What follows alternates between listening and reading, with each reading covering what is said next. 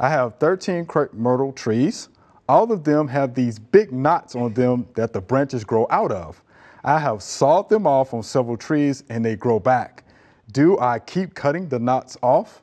I really would like to know before I put all this work in again.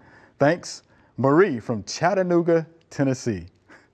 So Peter, the big knots, right? Uh, they keep growing, right? Crepe murder. Crepe murder. Crepe murder. Uh, yeah, so when, whenever you prune a tree or any other plant, you're saying, you know, you cut it here, you're saying grow from this point. Yeah, grow here, grow here. So what's happening is the crepe myrtle's doing exactly what you're telling it to do. You're cutting it here and then it goes poof, mm -hmm. right there. And that turns into a big knot, especially if you go back and remove all those branches every year. The knots just keep getting bigger and bigger.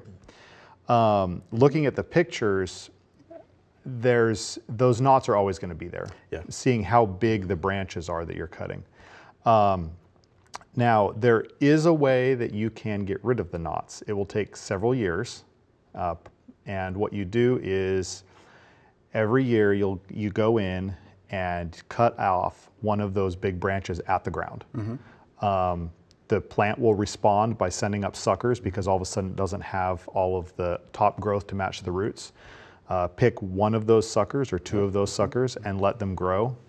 Um, the next year, go in, remove another one of the big branches right at the ground and let it be replaced by a sucker. And so over the course of four or five years, what you're gonna do is you're going to have the, the true form of the crepe myrtle without the knots because you've removed those. But if you keep cutting, if you keep cutting the stalks every year, mm. the knots are just gonna keep coming back and coming back and they're so unsightly looking. It, it looks yeah. rough, don't look good. You see that nice something like that. No, I said we, we, don't recommend that you prune a lot of prune on crepe myrtle unless you just really need a problem or something right. over your house or your roof or something like that. So mm-hmm. yeah. you don't have the ugly knots on there. Yeah.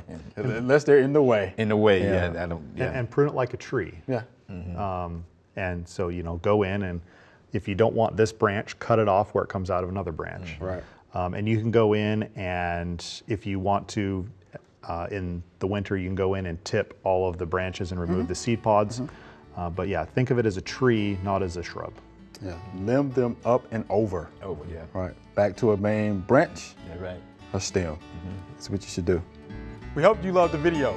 We would love for you to ask more questions. Be sure to leave those questions in your comments.